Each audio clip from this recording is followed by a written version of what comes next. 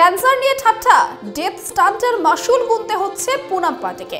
মহাফাপুরে model অভিনেত্রী। কানপুরে পুনম এবং তার স্বামী শ্যাম বম্বের বিরুদ্ধে দায়ের হলো একশো কোটি টাকার মানহানির মামলা।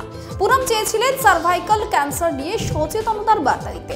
কিন্তু হয়ে গেল উলট পুরাণ নিজের মৃত্যু নিয়েই তো বটেই এমনকি ক্যান্সারের মতন মারণ রোগ নিয়ে তিনি তার বদ রসিকতার জোরে খেপে উঠেছেন তার ভক্তরা। যে পুনম পান্ডে ছিলেন এযাবৎকাল নীল দুনিয়ার রাতরানী, গত কয়েকদিনে তিনি একেবারে সোশ্যাল মিডিয়ার ভিলেন হয়ে উঠেছেন। এবার মানহানির মামলায় জড়িয়ে পড়েছেন মডেল অভিনেত্রী। কানপুরের পুলিশ কমিশনারের কাছে পুনম পান্ডের বিরুদ্ধে এফআইআর দায়ের করেছেন ফায়জান আনসারি নামে একজন ব্যক্তি। সেই অভিযোগনামাতে সাফ লেখা রয়েছে।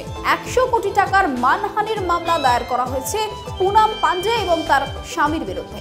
শুধু তাই নয়, তাদের বিরুদ্ধে গ্রেপ্তারি পরোয়ানাও জারি করার অনুরোধও জানিয়েছেন ওই ব্যক্তি। এফআইআর উল্লেখ রয়েছে, পুনাম পান্ডে এবং স্যাম বম্বে ডেথ স্টান্টের ষড়যন্ত্র করেছে।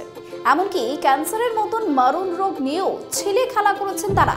পুনাম পান্ডে আসলে নিজের প্রচারের স্বার্থেই এটা করেছে ক্যান্সার নিয়ে ঠাট্টা, ডেথ স্টান্টের মাসুল গুনতে হচ্ছে পুনাম পান্ডেকে। মহাফাপুরে মডেল অভিনেত্রী। কানপুরে পুনম এবং তার স্বামী শ্যাম বম্বের বিরুদ্ধে দায়ের হলো একশো কোটি টাকার মানহানির মামলা। পুনম চেয়েছিলেন সার্ভাইকাল ক্যান্সার নিয়ে সচেতনতার বার্তা দিতে। কিন্তু হয়ে গেল উলট পুরাণ নিজের মৃত্যু নিয়েই তো বটেই, এমনকি ক্যান্সারের মতন মারণ রোগ নিয়ে তিনি তার বদ রসিকতার জোরে খেপে উঠেছেন তার ভক্তরা। যে পুনম পান্ডে ছিলেন এযাবৎকাল নীল দুনিয়ার রাতরানী, গত কয়েকদিনে তিনি একেবারে সোশ্যাল মিডিয়ার ভিলেন হয়ে উঠেছেন। এবার মানহানির মামলায় জড়িয়ে পড়েছেন মডেল অভিনেত্রী।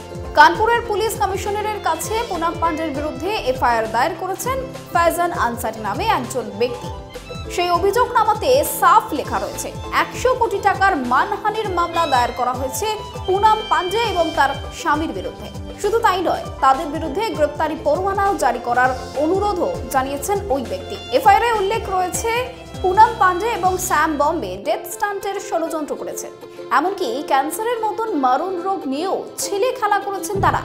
পুনাম পান্ডে আসলে নিজের প্রচারের স্বার্থেই এটা করেছে